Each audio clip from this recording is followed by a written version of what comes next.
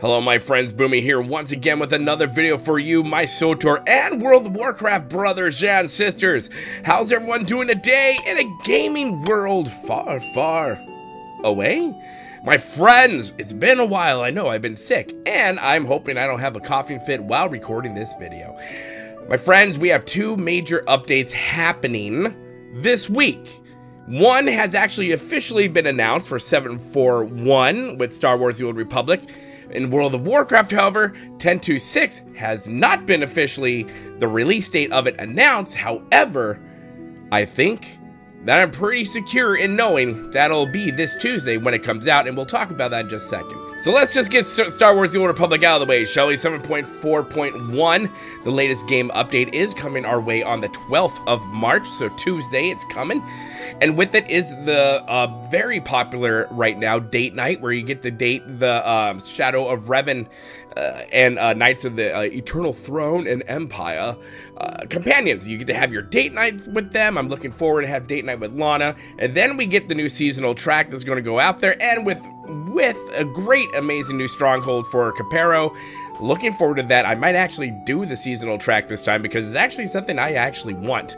And Copero is a beautiful planet and it's great. There's other things coming along as well in 7.4.1, but hey, we're going to uh, have time. We're going to go into the date nights. We're going to see how that is, and don't worry, they're going to do more date nights down the road with the other companions as well. I know a lot of people in the comment section have been talking about that. Don't worry, you're going to have your vet uh, date night too, and all your fun there as well. When it comes to World of Warcraft, however, my my my first love, yes, uh, so 10.2.6, that's the pirate flag we saw on the on the 2024 roadmap that World of Warcraft has put out. It's the mystery, right? Holly Longdale, I'm not going to mispronounce her name because I always mispronounce her name.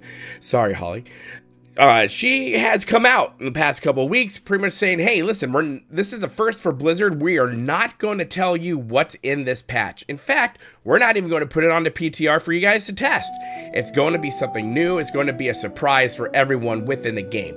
And from the consternation of everyone in the community, we kind of like this." And this is something we're not used to. Un unlike with BioWare back in the day and Broadsword and Star Wars The Old Republic, who's who keeps things so tight like a freaking dolphin's butt.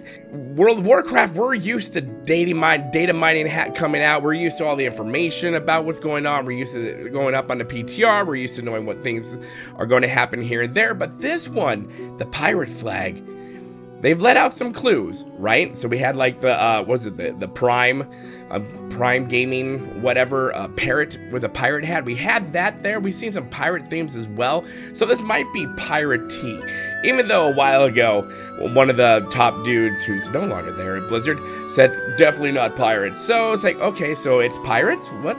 But either way, it's coming. And how do I know it's coming on the 12th? Because Everything else is coming on the 12th. But no, because World of Warcraft, uh, they announced going, hey guys, we're going to have an eight hour maintenance window for this. So yeah, that's just, it's going to be down for eight hours. It's going to be a long main, realm maintenance uh, for the game. So everyone enjoy your time in the sunlight and talking to people you haven't talked to before called your family.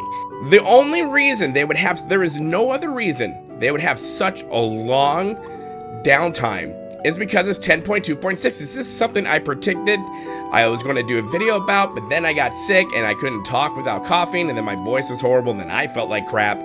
But this is something I was thinking about going like, if they are going this far with keeping this update so secretive and keeping all their cards close to the vest on this one, then why wouldn't they just, why wouldn't they just launch it, let it go live without telling anyone? I think that would be a whole part of the process. And Holly did say that this is a learning curve for them as well.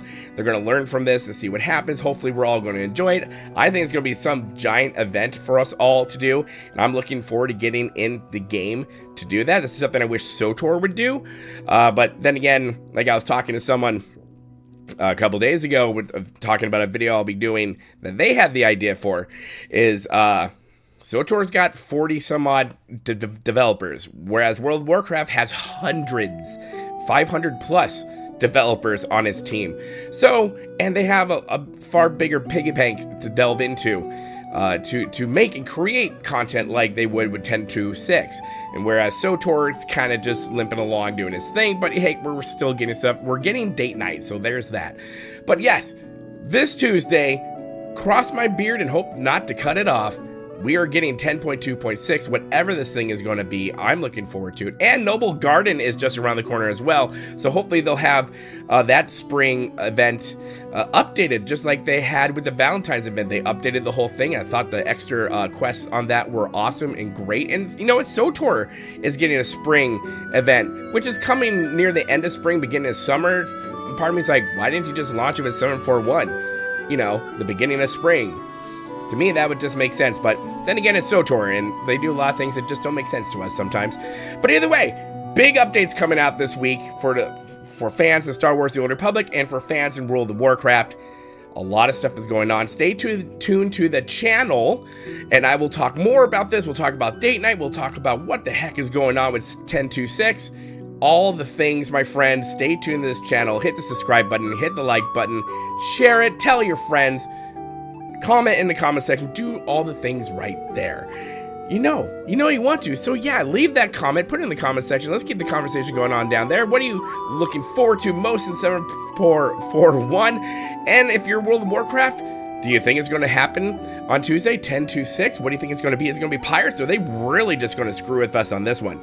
Who knows? Make sure you hit the like button because the like button, you know, the more you hit it, the more the algorithm likes it. Same with comments and hit the share button and the notification button and all that stuff. And make sure you hit the freaking subscribe button. Come part of the family here at Boomy Nation, the freak show of YouTube, the black sheep of gaming. And as always, my friends, remember to be kind. It's about community. And don't forget to spay and neuter your Murlocs and your Wookiees. And we'll see you later, my friends. Good day.